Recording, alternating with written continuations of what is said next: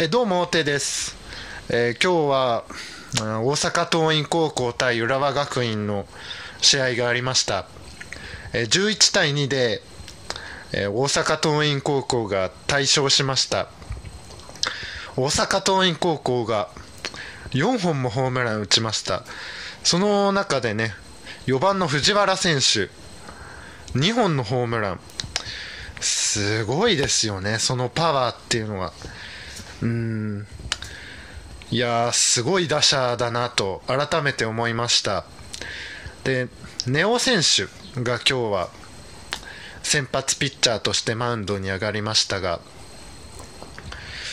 まあよよかったといえばよかったんですけども5回にね少し捕まって2失点。ですが、えーバッターとしては、まあ、ホームランも逆方向にね打ったっていうことで、まあ、すごいパワーを見せつけたなと思います。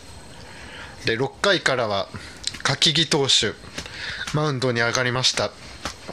ものすごい切れ味鋭いスライダーですね。もう左バッター外かなと思ったらもうデッドボールになるんじゃないかっていうぐらいの切れ味でしたもんね。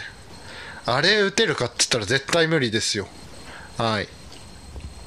でそして最後、えー最後の球9回裏の最後の球150キロでした。うーん。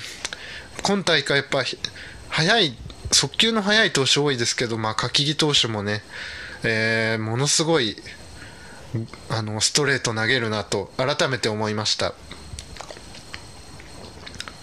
まあ、浦和学院もねあの負けはしましたけども、まあ、ここまで勝ち上がってきたということで、まあ、非常に感動ありがとうございました、えー大阪桐蔭高校の、えーナイン、えー優勝を目指して頑張ってほしいなと思います、えーベスト4進出おめでとうございます、えー次の試合も頑張ってください。本当にありがとうございました。